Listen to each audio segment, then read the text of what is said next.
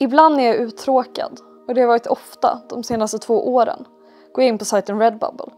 Där kan folk ladda upp motiv som andra kan klicka hem tryckta på t-shirts eller muggar eller tygpåsar eller strumpor. Och i sökfältet där skriver jag in namnet på olika tänkare, filosofer, ideologer och scrollar igenom resultaten. När man kommit förbi det första stadiet av haha, kolla, kommodifiering av Marx, tihi, vilka otroligt dåliga ordvitsar och höhö, vem skulle någonsin ha på sig det här? Förutom den där snubben på varje seminarium eller föreläsning man varit på hela sitt liv som ställer alldeles för långa frågor som alltid tycks konstruerade för att visa att han minsann läst kurslitteraturen och kan namedroppa flera tänkare, vilket han såklart bara gör för att hävda sig försöka kväva den ångest och känsla av otillräcklighet som äter honom inifrån. Jag jag är den personen. Det är därför jag hamnat här. Sen undrar man varför. Varför just dessa tänkare? Varför har deras tankar överlevt in i vår tid och med sådan kraft att deras ansikten, sägningar och tankefigurer idag trycks på massproducerade t-shirts? Det korta svaret är väl typ västländsk idéhistoria. Många års tänkande, skrivande och diskuterande har tagit oss hit. Frågor har stötts och blötts över millennier formad av skiftande tidsanda och teknologisk utveckling. Många framsteg har gjorts, men lett till nya problem. Andra frågor tycks eviga.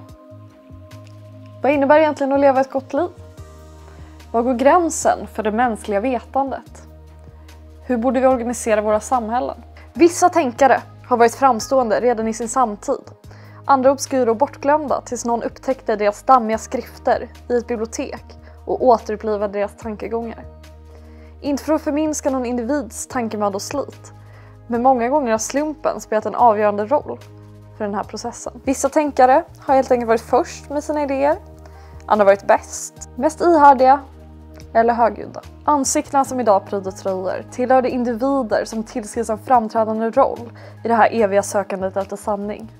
Som influenser för efterkommande tänkare som antingen byggt vidare på deras idéer eller formulerat sig i opposition till dem. Med tid blir det lätt självförstärkande. Om man anser en tänkare viktig och lär ut om den till nya generationer så ökar såklart chansen att de blir influerade av den. Skriver verk som är lättare att förstå om man förstår föregångaren så uppstår linjer och släktskap mellan tänkare över århundraden. Med hjälp av Redbubble-garderoben kan man lätt komponera små outfits av den här typen av intellektuella släktskap. Försokratingen Heraklitos, vars enda verk så vitt vi vet om naturen endast finns bevarat i ett antal små fragment och inte i sin helhet får kännas som startpunkt för vår outfit och representeras av eh, den här tygpåsen. Perfekt. Långt senare, efter flera hundra års tänkande verksamhet som vi för enkelhetens skull bara kom hoppa över, lästes Heraklitos av Georg Wilhelm Friedrich Hegel som tog intryck av Heraklitos bland annat när han skrev sina inflytelserika verk. Alltså för att pausa vid Hegel en stund. Tänk dig att du är på väg hem från en dejt. Det var trevligt. Hen står och fipplar med nyckeln i låset liksom så här. Till slut går det upp. Ni går in i lägenheten, ljuset tänds och det du ser är det här. Men det är ju inte ett sängöverkast ett klädesplagg så för exemplets skull så får vi ta en t-shirt. Hegel influerade i sin tur Marx som finns tryckt på ungefär en miljard grejer men vi kan väl ta det här munskyddet. För att föra den här väldigt enkelspåriga resan genom idéhistorien in i nutiden så sätter vi punkt vid den slovenska filosofen Slavoj Zizek Eh, mannen med utan tvekan bäst merch, verkligen magnum opus bland Slavoj Zizek merch är den här kjolen med tryck både fram och bak. Gucci slänger i väggen. Våren 2022 är det jobbig snubbcore som gäller.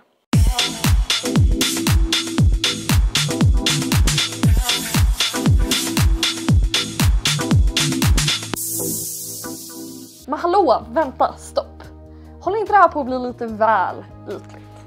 Skulle inte det här flickrumsliberalprojektet handla om tankar, idéer, de stora frågorna? Och jo, det viktiga med en tänkare som Thomas av Aquino är såklart inte att någon tjomma har designat 20 kepsar med olika citat av honom på. Det är troligen inte så många som ens beställt en sån keps. Det kanske bara är fördomar, men jag tror inte att så många Thomas av Aquino-fans är så stora fans av plagget keps. Looken jag komponerade baseras på kopplingar som jag vet finns, men sökningar på sajten skvallrar om den här typen av släktskap hela tiden. Säljarna är ju inte dummare än att de taggar närliggande och relaterade tänkare. Jag råds mycket av att om man söker på Jeremy Bentham så föreställer de flesta resultaten hans lärjunge John Stuart Mill, som i tiden nog får anses ha blivit mer känd. Marx är omåttligt populär. Han avbildas ensam såväl som tillsammans med de kommunistledare som försökte omsätta hans idéer i verkligheten. Ovanligare är dock att han porträtteras tillsammans med Engels trots att de skrev det kommunistiska manifestet ihop och stod varandra nära i liv såväl som tanke. Engels frånvaro speglar dock hur hans roll i efterhand setts som mindre framträdande. Det heter ju marxism och inte engelsism. Men att scrolla sajter med tveksamma tröjtryck är knappast det bästa sättet att lära sig om ideologi och filosofi. Tyvärr. Då måste man så här läsa tjocka böcker och titta på pretto Youtube-videos. Vilket till slut för oss fram till videons sista varför. Varför ska man intressera sig för klassiska tänkare och idéer förutom att man kan få ut några roliga scrolltimmar av det? Vad spelar det för roll vad en tjomme för 1000, 500 eller 50 år sedan tyckte? Något som idag reducerats till ett halvroligt tröjtryck som folk troligen köper mest för att verka lite småintelligenta utan att behöva öppna munnen. Räcker det inte att vi tittar på problemen vi har framför oss och tänker fritt utan en massa gamla greker och gubbröra i bagaget? Nej, det nya föds ofta ur det gamla. Ett helt blankt blad är sällan den bästa utgångspunkten för att skapa något nytt och verkligt värdefullt. Det framstår faktiskt som rätt dumt att bara kasta ut gamla tiders framsteg och börja om på nytt varje gång. Samtiden är inte neutral. Den är starkt färgad av tidigare tiders strömningar. Alltså syn på de antaganden vi gör. Helt omedvetet. För att de blir så normala och accepterade är viktigt för att kunna tänka klart. Och för att kunna tänka fritt. Eller i alla fall med förståelse för att vägarna redan trampats upp av forna dagars filosofer. Det är precis som den mest ikoniska scenen i filmen Djävulen bär Prada. På ett redaktionsmöte på den modetidning där filmen utspelar sig börjar Anne Hathaways karaktär Andy att skratta och två bälten som hon tycker ser exakt identiska ut. Då blir hon uppläxad av tidningens chefredaktör, spelad av Meryl Streep, som pekar ut att även om Andy tror sig stå över mode så är hon precis lika påverkad av branschen som alla andra. And then it uh, filtered down through the department stores and then trickled on down into some tragic casual corner where you no doubt fished it out of some clearance bin. However, that blue represents millions of dollars and countless jobs. And it's sort of comical how you think that you've made a choice that exempts you from the fashion industry when in fact you're wearing a sweater that was selected for you by the people in this room from a pile of stuff. Varför nöja sig med tankar, fiskade ur idéernas realåda, när du kan få äkta vara?